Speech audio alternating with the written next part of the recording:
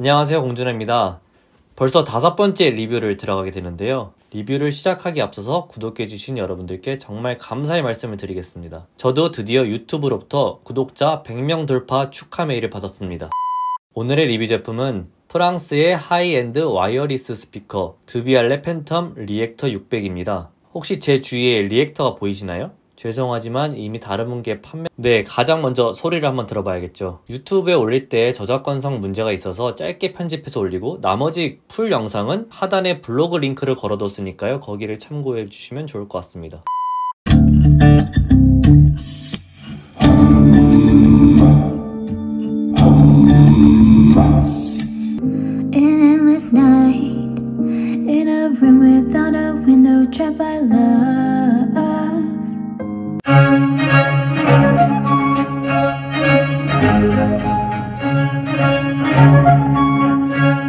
Tall and tan and young and lovely, the girl from Ipanema goes walking. All I have for you is a word. Tenet. It'll open the right door.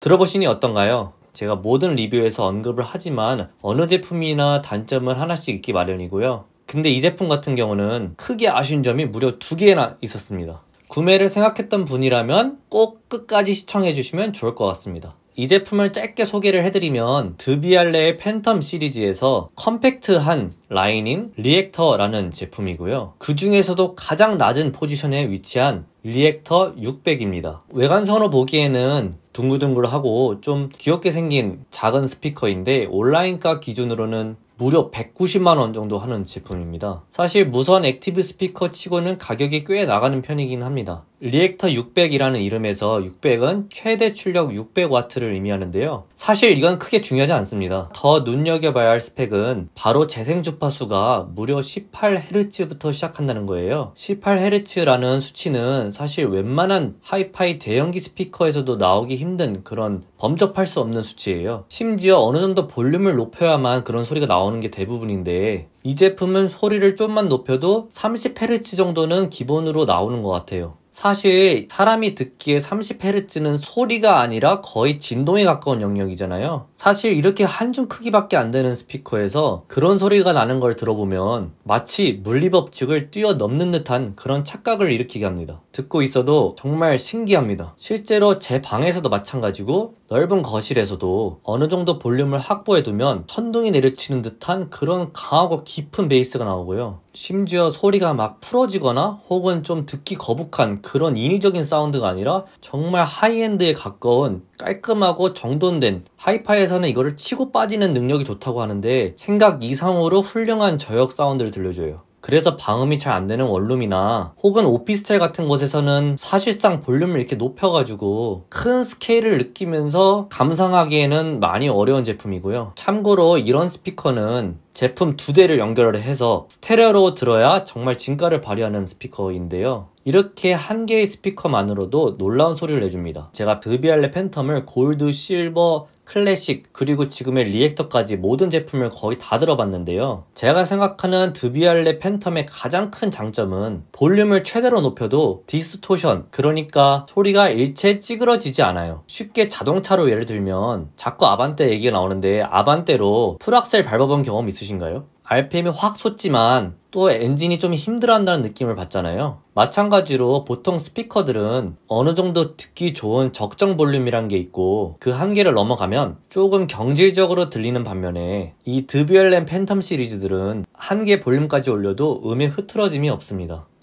그렇다면 전반적인 소리의 경향은 어떨까요? 여기서 첫 번째 단점이 나타납니다. 드비알레에서 프리미엄 라인인 팬텀 시리즈와 컴팩트 라인인 리액터 시리즈로 급을 나눴는데요. 컴팩트해진 크기 대비 저음의 스케일은 사실 크게 차이 안 나요. 반면에 고음을 재생하는 트위터 그 부분에서 확실하게 급을 나눴다는 생각이 들어요. 대표적으로 팬텀 골드 같은 경우를 보면 알루미늄 트위터와 midrange를 동축 설계를 해서 중고음 음분리를 확실하게 만들었고요. 따라서 굉장히 맑고 깨끗하고 해상력 높은 그런 수준급 사운드를 내줍니다. 잠깐 한번 들어보실까요?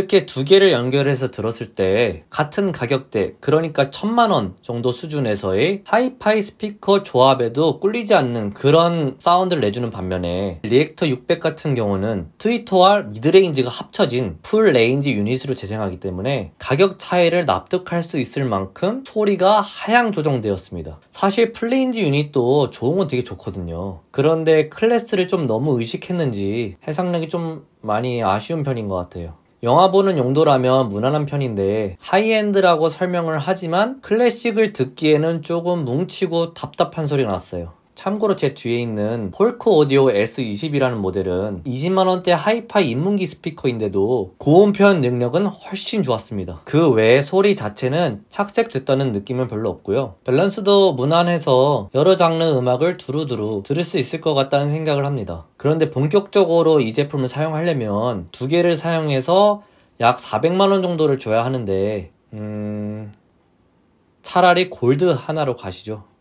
두 번째 큰 단점은 바로 AS입니다. 예전에 D사에서 수입을 했었는데 그 수입사가 어느 날 망했어요. 그 이후로 이 제품이 AS가 안 돼서 사용자들 간에 굉장히 불만이 많았어요. 현재는 오드라는 수입사가 들어와 있는데 예전에 D사에서 구매한 제품에 대해서는 AS가 안 된다고 들었어요. 이게 왜 문제가 되냐면 제품 사용 중에 파손이 되거나 혹은 문제가 생긴다면 수리를 해야 되는데 수리를 하는 방식이 아니고요. 대신에 교환을 하는 그런 방식인데요. 기본적으로 2년 보증이 되고 그 뒤에는 80만원 정도를 추가 결제를 해가지고 보증을 연장할 수 있는 그런 방식이 있는데 하여튼 문제가 생기면 꽤나 성가신 일이 될 것 같아요. 게다가 고장 사례도 종종 보이는 편이라 구매할 때 조금 꺼려지긴 할 것 같긴 합니다.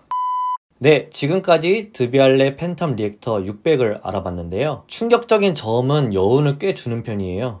그만큼 드비알레는 처음 들어보신 분들에게는 정말 혹할 만한 그런 매력이 있지만 반면에 중고음의 아쉬움도 좀 큰 편입니다. 그렇지만 프리미엄 라인인 팬텀 골드 같은 제품과 비교했을 때 그렇다는 거고요. 소리 자체는 200만원이라는 숫자에 부합할 만한 소리가 나옵니다. 아마 이 제품과 가장 많이 비교하시는 게 네임의 뮤조2일 텐데요. 오픈된 처음실에서만 들어본 게 전부여서 정확한 비교는 어려울 것 같고요. 아마도 이 제품을 중고로 사거나 대여를 받으면 가능할 것 같긴 한데 오늘 한 리뷰를 다시 보니까 아무래도 협찬은 틀린 것 같죠?